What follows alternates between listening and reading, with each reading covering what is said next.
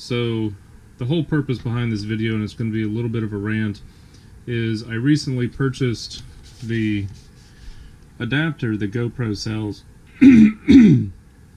Excuse me.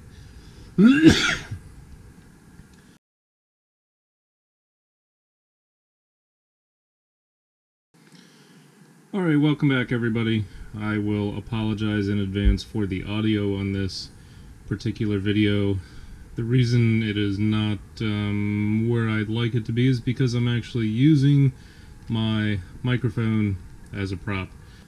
The reason for this video is I recently purchased the GoPro 3.5 millimeter mic adapter. Cost about uh, $50 and goes right into the side of your GoPro using the USB-C connector and you you can see here how it will either dangle down or it will dangle up but however which way you flip it you got to take the door off which means it's not waterproof which I can live with I use my GoPros for everything.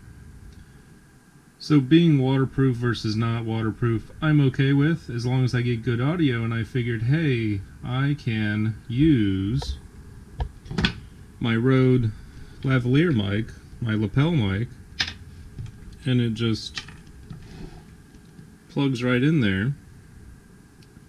And sure enough, it does plug in. And of course you've got to change the settings. But what they don't tell you is this particular adapter does not work with this particular microphone. Now sure they tell you on their website which I'll link it down below but let's see if you can see this is what they call a TRRS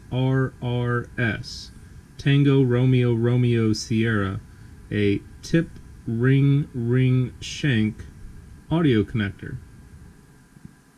Pretty normal for non-powered lavalier mics or lav mics. This only accepts TRS audio connectors, as in tip ring shank. So, they don't work. You need to spend another $10 to get an adapter. So $60 non-waterproof just to get your microphone to work. I really like this mic. So what I will show you is my setup.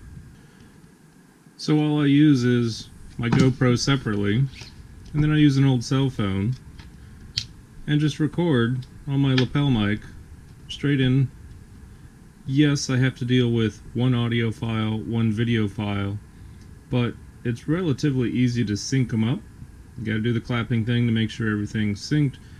Beyond that, it it's great. You get great audio, great, well, good video, and you're done.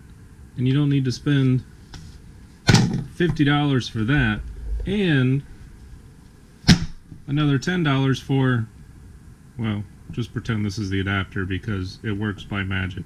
That's the only thing I could think of. Alright everybody, that's the end of my rant. Uh, I gotta go edit some videos, go take care of some more house spouse stuff, and somewhere in there find some time to write a couple of articles. So until next time, thanks for watching, and hopefully the next video will be less angry and more happy. See you later.